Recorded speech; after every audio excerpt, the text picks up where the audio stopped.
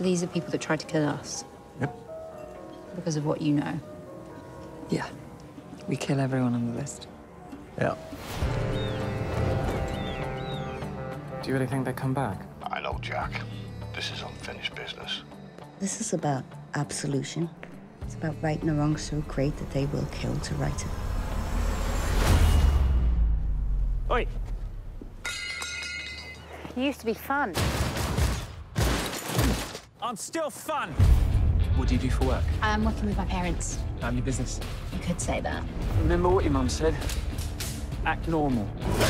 That's why I love her. Why don't you just let it go? Just stop before anyone else gets hurt. I'm coming for you. And there's nothing you can do about it.